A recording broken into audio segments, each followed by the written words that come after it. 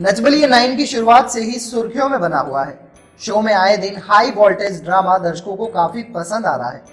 Show की controversy का TRP को खूब फ़ायदा मिल रहा है। इस हफ़्ते शो में वाइल्ड कार्ड कंटेस्टेंट्स की धमाकेदार एंट्रीज दिखाई जा रही हैं। वाइल्ड कार्ड कंटेस्टेंट्स की लिस्ट में टीवी स्टार पूजा बैनर्जी का नाम भी शामिल है। नचबलिए शो से पूजा बैनर्जी के हस्बैंड ने टीवी पर अपना डेब्यू किया है। लेकिन क्या आप जानते हैं कि पूजा को नचबलिए में पार्टिसिपेट करने के लिए अपने हस्बैंड को मनाना पड़ा है। इस बात का खुलासा खुद पूजा ने किया है। एक निजी न्यूज़ चैनल को दिया इंटरव्यू में पूजा ने बताया। जब मैंने पहली बार संदीप को नचबलिए के बारे में बताया तो वो बिल्कुल तैयार नहीं थे। शो के लिए हाँ कहने के लिए संदीप को पूरा एक हफ़्ता लगा।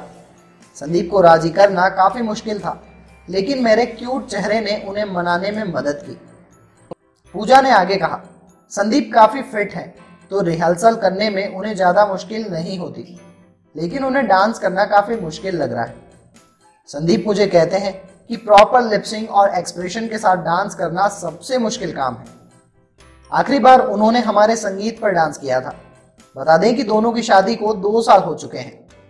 इंटरव्यू में पूजा ने अपनी कसौटी की पूरी टीम का शुक्रिया अदा करते हुए कहा, अगर मैं एक टाइम पर दो शो कर पा रही हूँ तो इसका पूरा श्रेय मेरी कसौटी ज़िंदगी की टी, टीम को जाता है।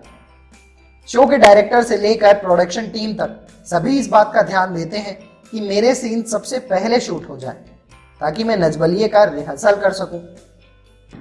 तो दोस्तों फ़िलहाल के लिए इस वीडियो में इतना ही। बाकी टीवी और फिल्मी गलियारों से जुड़ी हुई लेटेस्ट गॉसिप जानने के लिए देखते रहें फिल्मी पंचायत।